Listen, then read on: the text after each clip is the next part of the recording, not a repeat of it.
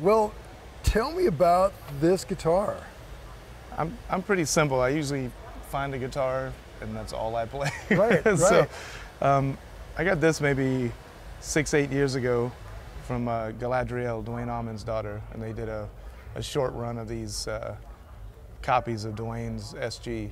And there's just something about this piece of wood, super light. Um, I kind of bounce between this and I have a signature SG, which was um, based on a guitar I played for maybe a decade or so. Yeah. And so it's really just the two guitars. Um, occasionally I'll play a Les Paul, old vintage Les Paul, but um, the, the two SGs seem to work well. I, Yeah. I enjoy those. Yeah. Now, what gauge strings do you do you run?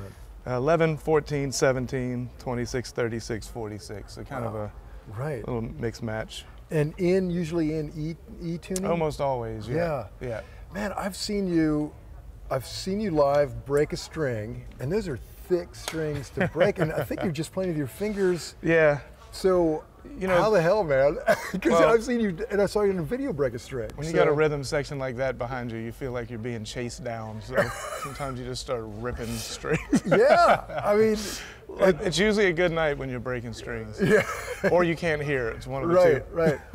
so tell me about this guitar. The uh, is it uh, just PAF type pickups in Yeah, it? Or, uh, it, it is. And, you know, I'm not super picky about those things. I mean, you know, if you get a guitar before you plug it in, how it speaks, you know? yeah. So, and, and this one, uh, it's, it's a really light piece of wood. I found most, most of the time, if you go through five or six guitars, the lightest one is probably going to sound better. I don't know if it's older wood or drier, Right. but they seem to they seem to speak a little bit better. And this is maybe the lightest SG I've found. I have Huh. I have one other of the signature guitars I have that uh, is a super light piece of wood, and that thing that thing barks too.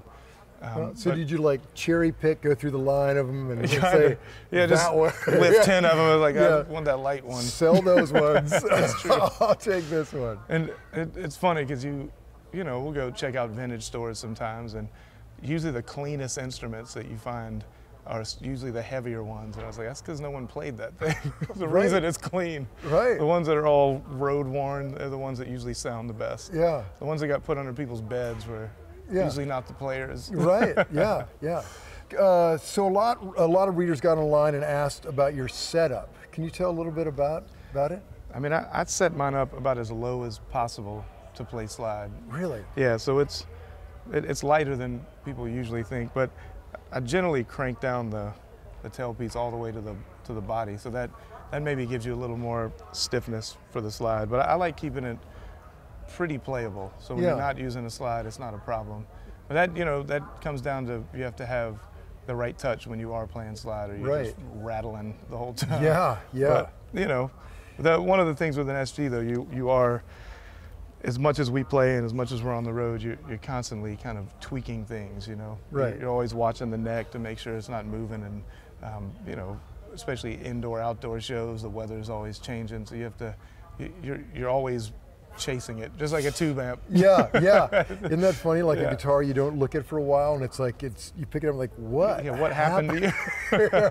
but I enjoy that. The ones that stay at home seem to, they seem to live in a spot. They settle in. But when when you're on the road, man, you got to watch it. Yeah, Get away from you. right. Now, what kind of slide do you uh, play? Uh, just a Coricidin bottle. Really? Yeah, Jim The Dunlop actual- will make. Well, I used to use those, but uh, most of the real find. one, and they have a seam in them, so you have Right. to. So uh, Dunlop makes uh, makes Blues us bottle, one. right? Yeah. Yeah. And they they do a signature slide that's the right weight. So I, I go through a lot of those.